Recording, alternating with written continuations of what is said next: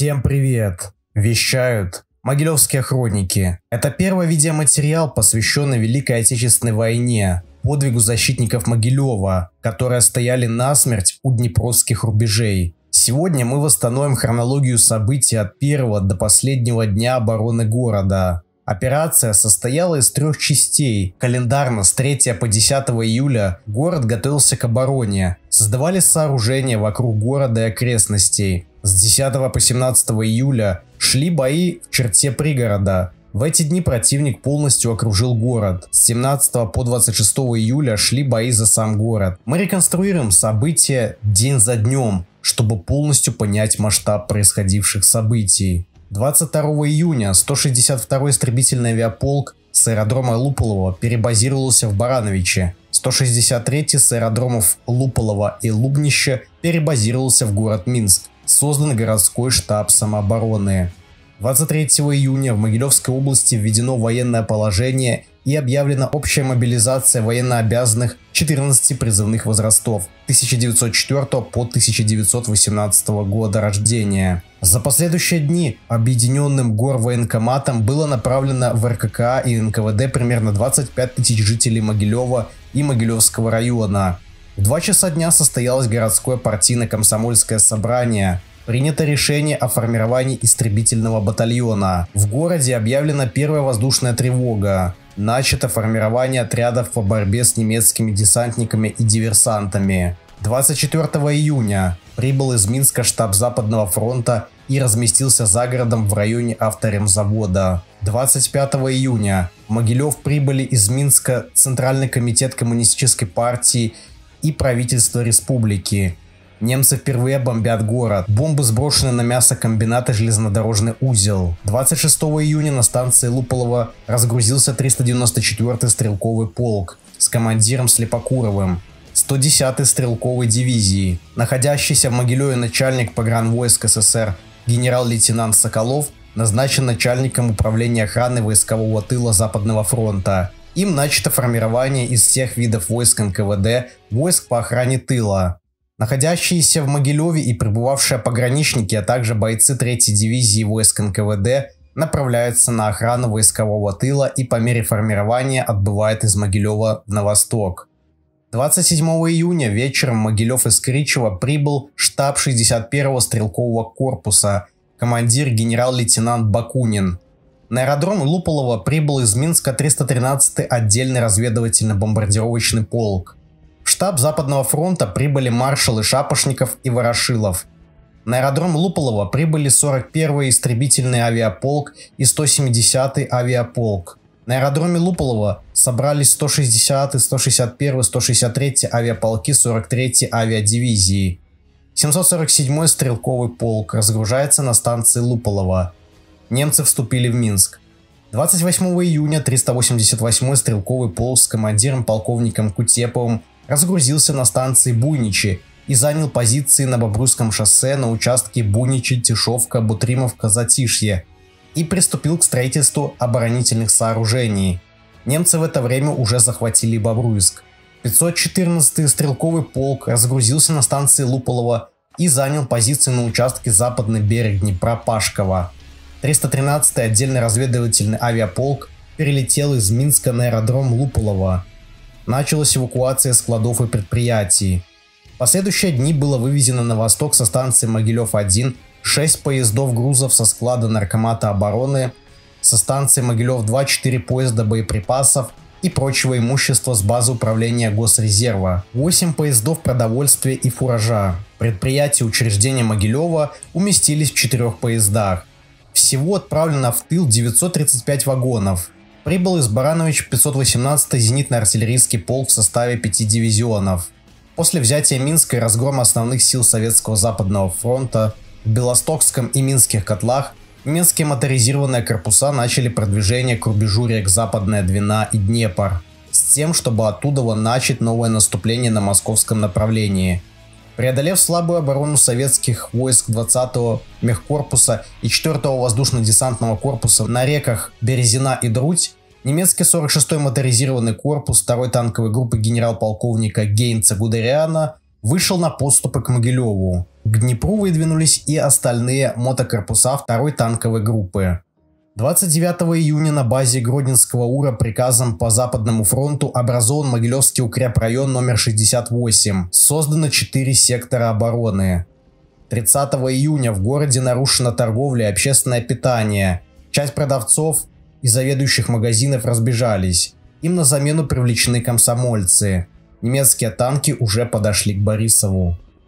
1 июля рота лейтенанта Ларионова из 514-го стрелкового полка на Бобруйском шоссе у деревни Новый Городок вступила в бой с усиленным разведбатальоном 3-й танковой дивизии немцев. В лесу в районе авторемонтного завода в штабе Западного фронта состоялось совещание с участием маршала Ворошилова и Шапошникова, где был принят план обороны города. Согласно плану, началось строительство с помощью местного населения инженерных оборонительных сооружений. В этот день на поле работало более 6 тысяч могилевчан. Штаб 61-го стрелкового корпуса приказом командира подчиненных артполков быть готовыми к отражению атак танков противника на Могилев со стороны Березино с запада, Бобруйска с юго-запада и Рогачева с юга. Причем особое внимание уделялось двум последним направлениям для борьбы с танками создавали специальная подвижная группа, включавшая стрелковую роту, взвод саперов, не менее двух сорокопяток и одной 76 миллиметровой пушки. Артиллерия дивизии усиливала противотанковую оборону вдоль шоссе Бобруйск-Могилев, а также принимала участие в создании подвижных групп. За одну неделю вокруг Могилева была возведена 25-километровая линия оборонительных рубежей с противотанковыми рвами, зотами, окопами и системы траншей. Оборона города изначально строилась как круговая, что помогло его защитникам продержаться 23 дня. По бронемашинам было приказано стрелять осколочно-фугасными гранатами, по танкам бронебойными снарядами, а когда кончаются, также осколочно-фугасными. Когда выяснится направление движения танков, дивизионная артиллерия обязана была маневрировать, усиливая оборону на опасном участке. Последним пунктом приказа значилось любой ценой остановить танки и не пропустить их в Могилев. К этому времени плотность противотанковой обороны, прикрывающей Бобруйское и Минское шоссе, достигла 8-10 орудий на километр фронта, а на менее важных направлениях 4-5. Всего в распоряжении обороняющихся войск имелось 44 орудия, 12 перебрасывалось на усиление и еще 10 бралось из артиллерии 394 и 514 полков. При этом Снарядов у артиллеристов было немного. На важнейшем направлении в среднем 50 выстрелов на орудие. На остальных участках от 20 до 30. 2 июля усиленный разведбатальон 3-й танковой дивизии пытается ночью захватить переправу через реку Друдь на Бобруйском шоссе у деревни Чечевичи. Но после подрыва моста советскими саперами возвращается в Бобруйск. Немцами занят Борисов. Штаб Западного фронта двумя эшелонами убыл в Гнездово, Смоленская область. 3 июля 394-й стрелковый полк 110-й стрелковой дивизии с командиром полковником Хлебцовым занял боевой участок на западе от города, между деревней Присно-1 и деревней Застенок. На станцию Луполово прибыл эшелон штаба 172-й стрелковой дивизии с командиром генерал-майором Романовым началась запись добровольцев в отряды народного ополчения. 4 июля, найдя брод через реку Друдь, танки 4-й танковой дивизии утром форсируют реку и днем захватывают Быхов. Разведотряд дивизии выходит у деревни Досовая Селиба к мосту через река Лохва на Бобруйском направлении. Но мост был взорван саперами, приданными роте лейтенанта Ларионова, которая, отступив, закрепилась на левом берегу реки Лохва – Утром батальон старшего лейтенанта Волчка вступил в бой с немцами у Белыныч, а отдельный разведбатальон капитана Метельск на Бобруйском шоссе 172-й дивизии придан 601-й гаубичный артиллерийский полк. 5 июля продолжаются бои у Белыныч. Уничтожена разведгруппа противника у деревни Новоселки. На юго-запад от города в 20.00 73-й полк НКВД оставив для охраны ЖД моста зенитно-пулеметный взвод, выступил пешим порядком по маршруту Чауса Кричев-Руславль. 6 июля штаб 172-й дивизии переведен в лес у деревни Затишье, на востоку города. 7 июля отступающие остатки 7-й воздушно-десантной бригады ведут бои на северо-западном направлении от города на рубеже Водва речки Княжицы с передовыми частями 10-й танковой дивизии. Укрепрайон передает противотанковое препятствие воинским частям, обороняющим Могилев, после чего подразделение УР покидает Могилев в направлении Смоленска. 10-я мотодивизия Вермахта получает приказ начать выдвижение из района Жлобина в район Могилева по Бобруйскому шоссе. Выходит боевой приказ под номером 1 по 172-й стрелковой дивизии, которым установлены линии обороны и участки обороны.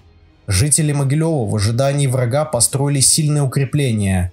Воздушная разведка при штабе Клюги сообщала, за Днепром русские расширяют оборонительные позиции. Это непрерывная сеть взаимосвязанных траншей, дотов, ходов сообщений, противотанковых рвов и опорных пунктов, особенно вокруг населенных пунктов, многочисленных артиллерийских батарей с бетонными дотами. Оборонительная система в несколько километров глубиной, напоминающая укрепление Первой мировой войны. Саперы создали вокруг города обширные минные поля. Бойцы и жители рыли окопы, укрепляли дома, готовили коктейли Молотова. После начала сражения немцы были удивлены частыми штыковыми атаками и рукопашным боем. 8 июля 514-й стрелковый полк отведен за Днепр, в район деревни Шапчицы. Резерв командира корпуса. Работники ЦК и правительства республики уезжают на восток, а тем временем 10-я танковая дивизия вермахта захватывает Белынычи и выставляет в районе Княжицы против Могилева заслоны стрелковой роты и взвода танков из 7-й танковой роты. Танкистам поставлена задача имитировать наличие больших танковых сил для подготовки наступления на Могилев. Мотоциклетный батальон из 41-го мотополка 10-й мотодивизии достигли деревни Дашковка и вступили в бой с боевым охранением 388-го стрелкового полка. Немцами захвачена деревня Липовка. 9 июля 7-я воздушно-десантная бригада отведена за Днепр. Ее рубеж приказано занять 394-му стрелковому полку. Боевая группа Битрих дивизии СС Райх получила приказ прекратить преследование 20-го мехкорпуса и срочно выйти в район Княжец, 12 километрах западнее Могилева. И уже к вечеру через Вендерыш и Хрипелева группа вышла к деревне Песчанка, южнее Княжец. Разведбатальон 10-й мотодивизии выходит к деревне Гуслищи. Мотоциклетный батальон этой дивизии захватывает деревню Межисетки. 10 июля в 5 утра два батальона 41-го мотополка начинают форсирование Днепра на лодках и понтонах у деревни Боровка. В 20.30 немцы захватывают деревню Сидоровичи и выходят на шоссе Могилев-Гомель. 14.30 второй батальон 388-го стрелкового полка отправлен к месту переправы немцев, но дошел только до деревни Салтановки. Был разгрулен частями 10-й мотодивизии немцев и при этом погиб командир батальона капитан Давыдов. 10-я танковая дивизия и полк Великая Германия сосредотачиваются на западном берегу Днепра. 10 и 11 июля Вермах начал форсировать Днепр тремя моторизированными корпусами. 47-й мотокорпус занял плацдарм у реки Копысь южнее Орши, оттуда начал наступление на Смоленск. 46-й мотокорпус занял плацдарм в районе Шклова. 24-й мотокорпус форсировал Днепр южнее Могилева и захватил плацдарм в районе Старого Быхова. Расширяя плацдарм, немцы взяли под контроль шоссе Могилев-Гомель. Передовые отряды направлялись к пропоиску и Могилеву. Утром на Минском шоссе первый батальон полка Дойчланд продвинулся к лесу, что находится восточнее деревни Лубнище. Остальные подразделения боевой группы находились восточнее деревни Песчанка – на юго-западном направлении, отходящее на Могилев подразделение 20-го мехкорпуса РККА выходит к деревне Досовичи. Узнав об этом, немцы предпринимают атаку силами 20-го мотополка 10-й мотодивизии, усиленная танковым батальоном 4-й танковой дивизии. К полудню немцам удается захватить деревню Досовичи и продвинуться на север до деревни Калаш и деревни Батунь. На этом рубеже наступление приостанавливается. Части 20-го мехкорпуса отходят по дороге Хонова Залесье Гуслищи на Могилев. Из Могилева Кричев ушел последний поезд. Курсантов школы НКВД на автомашинах отправили в Москву. Вскоре город попал в поле зрения командования группы армии. В оперативной сводке армии «Центр» за 11 июля говорилось, 4-я танковая армия, захватив ряд новых плацдармов по реке Днепр на участке Могилев и Орша, расширили плацдарм у Старого Быхова, Дашковки, создав предпосылку для предусмотренного наступления в районе Ельня. Пока трудно предвидеть, будет ли это наступление предпринято в районе Могилева через Рясно на Ельня, или же из района Школов-Копысь через Горки. Сообразно, этим мышлением были предприняты конкретные шаги для выбора одного из этих вариантов. На Могилев была развернута третья танковая дивизия 24-го корпуса. Уже 11 июля она была в 20 километрах к юго-западу от Могилева. 11 июля утром первый танковый батальон 747-го стрелкового полка попытался выбить немцев из деревни Сидоровичи, но безуспешно. Под огнем противника отошел в деревне Слободка. Днем немецкие разведгруппы замечены у деревни Костинка и у деревни Махова. Утром мотополк Великая Германия форсировал Днепр севернее Могилева у деревни Плещицы и создал плацдарм. Усиленный первый батальон полка Дойчланд поручил приказ через Браково, Старую Водву и Лотву выйти в район деревни Барсуки, что в 12 километрах севернее Могилева, и там закрепиться. Вечером передовой отряд 3-й танковой дивизии, следуя по Бобруйскому шоссе, захватил деревню Межисетки и Красница. 12 июля штаб 172-й дивизии переведен в город в здание США номер 11 по улице Минджинского. Немцы захватили горки. 514-й стрелковый полк и части 110-й стрелковой дивизии безуспешно пытаются ликвидировать прорыв немцев через Днепр севернее Могилева. Сводный отряд 747-го стрелкового полка под командованием майору Златоустовского предпринял безуспешно контратаки в направлении Сидоровичи и Слободка. Утром второй танковый батальон и несколько рот из мотопехотных батальонов 3-й танковой дивизии предприняли атаку на позиции 388-го стрелкового полка в районе деревни Буйнич. За 7 часов боя при поддержке батарей 1-го дивизиона 340-го легкоартиллерийского полка, 1-го дивизиона 493-го Силами обороны было подбито и сожжено 18 танков противника. Около полудня немцы прекращают боевые действия на этом участке и перебрасывают свои подразделения в район Быхова для переправы через Днепр. 747-й стрелковый полк ведет бои вдоль Гомельского шоссе против 10-й мотодивизии немцев. Вечером в штаб 172-й дивизии прибыли корреспонденты центральных газет. Основная сила 24-го танкового корпуса форсировали Днепр и двинулись в сторону Пропойска и Кричева. Второй батальон полка Дойчланд отправлен в Головчин для охраны штаба дивизии, а третий батальон занял позицию по линии Лубнище-Никитичи, шоссе в 500 метрах восточнее Княжицы Горная улица. В этот же день немецкая танковая дивизия генерал-лейтенанта Моделя попыталась прорваться к городу с юга вдоль Бобруйского шоссе. Оборону здесь держал 388-й стрелковый полк, и 172-я стрелковая дивизия, которым командовал полковник Семен Кутепов, и батальон народного ополчения. Они прикрывали автодорогу Могилев-Бобруйск и железную дорогу Могилев-Жлобин. Атаку отразили и после тяжелого 14-часового боя в районе деревни Буйничи немцы отступили с большими потерями. На поле боя осталось 39 подбитых танков и бронемашин, Оборонявшиеся также понесли большие потери, но сохранили позиции. На следующий день атаки немецких танков повторились снова, и снова эта атака была остановлена. Как вспоминал полковник в отставке Хорн Зобель, служивший в июле 1941 года в 3-й танковой дивизии, далее произошло следующее. Третья танковая дивизия начала атаку против Могилева двумя боевыми группами – Правая боевая группа несколько продвинулась вперед, но затем атака была полностью остановлена из-за сильного сопротивления противника. Левая группа немедленно пришла к катастрофе. Пехота на мотоциклах, которая должна была сопровождать танки, завязла в глубоком песке и не вышла на линию атаки. Командир танковой роты начал атаку без поддержки пехоты. Направление атаки, однако, было полигоном гарнизона Могилева, где были установлены мины и вырытые окопы. Танки напоролись на минное поле, и в этот момент по ним открыла огонь артиллерия и противотанковые пушки. В результате атака провалилась. Командир роты был убит. 11 из 13 наших танков было потеряно. Касательно численности сил наступающих и обороняющихся, до сих пор ведутся споры, поскольку большинство документов находится в засекреченном виде.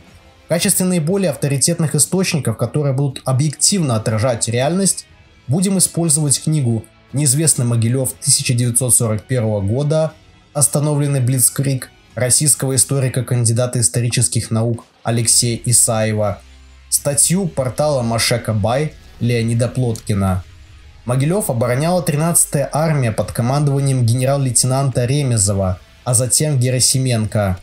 В том числе 172-я стрелковая дивизия под командованием Михаила Романова, 110-я стрелковая дивизия под командованием Василия Хлебцова, 20-й стрелковый корпус Степана Еремина, 20-й механизированный корпус под командованием генерал-майора Виктора Обухова и другие представленные на фотографии с Бунического поля части.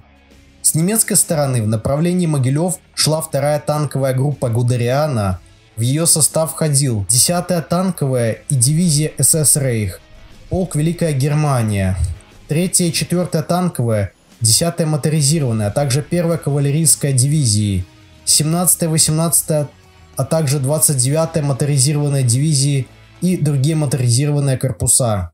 13 июля на месте боев у деревни Бунич побывали корреспонденты центральных газет. Среди них был известный в будущем писатель Константин Симонов. На участке 747-го стрелкового полка противник силами 41-го мотополка занял Вильчицы, Затишье, Быстрик. Немцы захватили в это время уже Витебск. 14 июля немецкие танки появились у Чаус, где на станции обстреляли все еще прибывающие эшелоны 172-й 110 и 132 стрелковой дивизии. Штаб 13 армии срочно из Чаус эвакуирован в Кричев. Утром получен приказ командира 61 корпуса на отход 172 стрелковой дивизии из города. Вечером на совещании командиров дивизий принято решение продолжать оборону города. 4 танковой дивизии был захвачен Пропоиск. 15 июля командиром сводного полка назначен майор Катюшин, начальником оперативного отдела штаба 172-й стрелковой дивизии. Ночью работники обкома покинули город. 20-й мотополк немцев занял без боя деревню Костинка, но дальнейшее наступление на Могилев отменяется. 10-й мотодивизии приказано двигаться на пропоиск. Немцы заняли Кричев и Смоленск. Опорная оборона советскими войсками Могилева лишала немцев крупного узла коммуникации, а штурм города означал задержку пехоты с продвижением вперед. В отчете немецкого 7 корпуса писали, штурм Могилева становится все более необходимым. Сконцентрированные на плацдарме силы противника – это серьезная угроза. Они дают прикрытие с фронта, находившимся восточнее Днепра, силам противника. Для ударов на север и юг по флангам 12 и 9 танковые армии. И, наконец, они прикрывают важную линию коммуникации. 17 июля начался штурм города при поддержке танков 3-й танковой дивизии. Тянулась и пехота. 7-я пехотная дивизия атаковала советские позиции вдоль Минского шоссе. 23-я пехотная дивизия наступала вдоль Бобруйского шоссе. В районе Могилева из Франции перебросили 15-ю пехотную дивизию. Южнее Могилева подошла 258-я пехотная дивизия. Тем временем немецкий танковый клин, обтекая Могилев, все глубже уходил на восток. Следовавшая в авангарде 46-го мотокорпуса 10-й танковой дивизии, она уже взяла починки и двинулась в сторону Ельни. 18 июля на поступах Могилеву выросла система круговой обороны. Как это обычно случается до времени разгромов и отступлений, оборону города составляли разрозненные и разнородные части и соединения. Ядром обороны была 172-я стрелковая дивизия генерал-майора Романова. Помимо нее в обороне участвовали 110-я и 161-я стрелковая дивизии, а также останки 20-го механизированного корпуса. Данные численности 172-й и 161-й дивизии о донесении Западного фронта и боевой численности состава за 10 июля попросту отсутствуют. Поэтому можно осторожно оценить их численность в 6-10 тысяч человек. 110-я дивизия насчитывает на ту же дату всего лишь 2478 человек. В отчете немецкого 7-го корпуса указываются следующие побудительные мотивы решения германского командования. 15 июля 7-я пехотная дивизия немцев в движении на Могилев в 17.00 проходит у деревни Гораны. К вечеру передовой отряд 7-й пехотной дивизии занимает линию 1 километр северо-западнее Пашкова и в километре юго-восточнее деревни Гаи Полыковичи. 15-я пехотная дивизия на марше на участке Корытница-Березино. Немцами захвачен Гомель. 20 июля в 14.00 7-я пехотная дивизия начала наступление к северу от Могилева. 61-й пехотный полк форсировал Днепр на участке обороны 110-й стрелковой дивизии и создал плацдарм у деревни Церковщина. 19-й пехотный полк вышел к Днепру, напротив деревни Павловка, а 62-й пехотный полк наступает северо-западнее на позиции 394-го стрелкового полка. К вечеру они находятся на линии южная опушка леса южнее Сумарокова и в трех километрах северо-восточнее Гаи Полыковичи. На юго-востоке 23-я пехотная дивизия в 14.00 начинает наступление на линии реки Лохва в сторону деревни Буйнич. 9-му пехотному полку удается перейти Днепр около деревни Буйнич, а потом создать небольшой плацдарм и выдвинуть охранение на север и восток, провести дальнюю разведку в направлении Луполова. В отчете 7 корпуса по штурму Могилева говорилось, в течение дня становится ясно, насколько сильную позицию представляет собой Могилевский плацдарм. Дивизии обнаружили перед собой мастерски отстроенные полевые укрепления и великолепно замаскированное, глубоко эшелонированное с искусственным использованием всех возможностей организации фланкирующего огня. Положение с боеприпасами напряженное – армия не может организовать достаточное снабжение. Этот факт не позволяет ожидать быстрого успеха в боях за укрепленный плацдарм. С этого времени гарнизон города полностью находился на воздушном снабжении. 21 июля. Дождь. Холодно. На юго-западе 23-я пехотная дивизия вводит два батальона 67-го пехотного полка на правом фланге 68-го пехотного полка между Днепром и железной дорогой. В качестве штурмовой группы с задачей захватить из Бунич юго-западную окраину Могилева, при этом занять высоту и ликвидировать врага, который находится в южной части Могилева. Вечером 21 июля 9-й пехотный полк начинает наступление в направлении Луполова, занимает местность и в итоге ночного боя захватывает автодорожный мост в Могилеве. Там встречается с 10-й ротой 67-го пехотного полка – удерживает мост и создает небольшой плацдарм на западном берегу. На Минском шоссе передовой отряд 15-й пехотной дивизии выходит к разрушенному мосту реки Лохва. Мост деревни Сенькова также был разрушен. Саперы приступают к постройке новых мостов. Разведгруппа устанавливает контакт с 23-й пехотной дивизией. 22 июля. Дождь. 7-я пехотная дивизия в районе часа ночи форсирует Днепр и создает плацдарм у деревни Павловка. 61-й пехотный полк наступает в юго-восточном направлении, чтобы войти в контакт с 19-м пехотным полком. 23-я дивизия продолжает тяжелые наступательные бои силами 67-го и 68-х пехотных полков. 9-й пехотный полк во время боевых действий на левом берегу Днепра удерживает небольшой плацдарм на мосту через реку Днепр. Утром 78-я пехотная дивизия с рубежа Гришанова, Дубинка, Лыкова всеми тремя своими пехотными полками приступает к атаке на Могилев. Около 11 часов первый батальон 215-го пехотного полка с запада достигает деревни Дары и, продвигаясь дальше вдоль железнодорожной линии Чауса-Могилев, уже в 10.40 выходит к станции Луполова и проходившая вдоль Днепра дороги.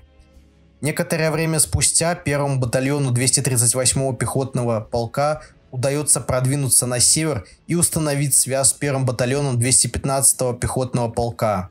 747-й стрелковый полк и 172-я дивизия, понеся большие потери, отходят к Луполово. Бой на станции Луполова продолжается до самого вечера. А еще днем после перегруппировки второй батальон 215-го пехотного полка около 14.00 достигает главной цели – наступления колено Днепра к востоку от Могилева. В то же время как 195-й пехотный полк вечеру выходит к Гомельскому шоссе. 23 июля. Дождь. Ночью с советских самолетов в район аэродрома на парашютах были выброшены боеприпасы для 172-й дивизии, но они большей части достались противнику, который к этому времени уже занял аэродром. 78-я пехотная дивизия успешно атакует советские части на южном берегу Днепра, к юго-востоку от Могилева. Немцами было заявлено о захвате 5000 пленных. Также 23 июля в распоряжении 7 корпуса наконец-то прибывает из резерва 15-я пехотная дивизия, которая выходит в район деревни Княжец и в 15.45 начинает, наступ... и в 15.45 начинает наступление. Вечером два батальона 81-го пехотного полка этой дивизии вступили в бой за военный городок Пашково. Два батальона 106-го пехотного полка к вечеру захватили Казимировку – наступая по правую сторону Минского шоссе. Меж тем, утром 23-я дивизия силами 67-го и 68-го пехотных полков продолжает наступление при поддержке недавно прибывшего 192-го дивизиона штурмовых орудий. 15 часов 67-й пехотный полк достигает деревни Горки – откуда разведывательный отряд 23-й дивизии занимает деревню Ракузовка. На участке 78-й пехотной дивизии немецкая разведка сообщает, что противник от дороги Малеевка перекресток дорог у колена Днепра постоянно перебрасывает свежие силы. Прежде всего, противник стягивает все новые части в район Малеевка. С самолетов для защитников города были сброшены боеприпасы. Батальон из 23-й пехотной дивизии пытается прорваться в город с юга через мост. Внезапный мощный обстрел с высокого, имеющего террасы северного берега, останавливает наступление. Командир батальона майор Хенник погибает. Попытка взять город с тыла терпит неудачу. Требуется взлом оборонительных позиций к западу от города грубой силой. 15-я пехотная дивизия пробивается через Печерский лес к железнодорожному вокзалу и вступает в упорные кровопролитные уличные бои в северной части Могилева. Два батальона 106-го пехотного полка утром вышли к станции Могилев-Товарная. 7-я пехотная дивизия атакует в направлении Аршанского шоссе. 61-й пехотный полк выступает через мосток на восток. На юге в то же время, как 9-й пехотный полк охраняет мост, отдельное подразделение 23-й пехотной дивизии утром опять начинает наступление. 67-му пехотному полку удается передвинуться на территорию шелковой фабрики, тогда как 68-й пехотный полк на западной окраине города достигает железной дороги Могилев-Осиповичи. 25 июля сильный дождь. 7-я пехотная дивизия перешли в преследование противника на восточном направлении. 8-й дивизион реактивных минометов ведет из района деревни Краснополье обстрел северной окраины города, вокзала и станции Могилев-1. Ночью 23-я пехотная дивизия выводится со своих позиций для продолжения наступления на другом рубеже тогда как 9-й пехотный полк остается охранять мост до окончательного взятия города 15-й дивизии. На участке 78-й и 195-й пехотный полк при поддержке 215-го пехотного полка достигает деревни Малеевка. Части РКК с большими потерями отходят на северо-восток. За 22-25 июля потери РКК на участке 78-й пехотный дивизии составило 3700 человек убитыми и 4855 человек были взяты в плен. Вечером в штабе 172-й дивизии состоялось совещание и было принято решение о прорыве из окружения на юго-запад от Могилева в лесной массив около деревни Тишовка. 24.00 начался прорыв из Могилева останков 388-го стрелкового полка. При прорыве они наталкиваются на боевое хранение 23-й пехотной дивизии. Немцам на помощь выдвигается второй батальон 88-го пехотного полка. Часть красноармейцев прорывается через позиции немцев. Часть вынуждена вернуться в город. Во время прорыва погибает командир 340-го артполка полковник Мазалов. Ночью саперами отдельного отряда заграждения взорван Днепровский мост – Стало ясно, что в такой ситуации город удерживать не имеет смысла. Единственный выход – это прорыв на восток. Промедление вело к катастрофе и полному уничтожению оборонявшейся группировки. В ночь на 26 июля командир 172-й дивизии собрал совещание в штабе дивизии в помещении городской школы номер 11. Ничего утешительного он своим подчиненным сказать не мог. В городе накопилось до 4000 раненых. Боеприпасы фактически кончились, продовольствие на исходе. Далее генерал Романов предложил высказаться. Первым взял слово командир 388-го стрелкового полка Кутепов – он выступил за прорыв. Остальные командиры поддержали Кутепова. Прорыв начался в полночь, под проливным дождем. В условиях плотного кольца немецкой пехоты вокруг города прорыв был делом почти безнадежным, однако нескольким отрядам все же удалось прорваться. Генерал-майор Романов, по имеющимся данным, попал в плен. Бежал, позднее был вновь схвачен и повешен уже как командир партизанского отряда. В 11.15 26 июля город почти целиком был взят 15-й дивизией, которая у моста через реку Днепр соединяется с 9-м пехотным полком 23-й дивизии. Сводный полк ведет бои в районе завода имени Дмитрова и Дома Советов. 8-й дивизион реактивных минометов из района вокзала ведет обстрел местности Дома Советов и школы НКВД. Днем немцы обнаруживают на ржаном поле около деревни Новоселки остатки 394-го стрелкового полка и окружают их. В этом бою гибнет командир полка полковник Слепокуров.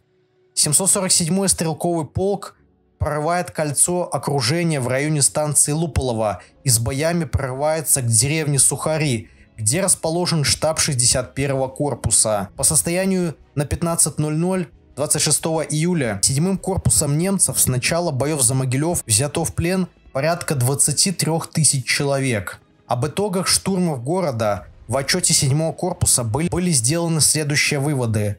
Штурм укрепленного плацдарма Могилев представлял собой семидневную самостоятельную операцию против прекрасной долговременной оборонительной позиции, защищаемым фанатичным противником. Русские держались до последнего, они были совершенно нечувствительны к происходившему. У них на флангах и в тылу.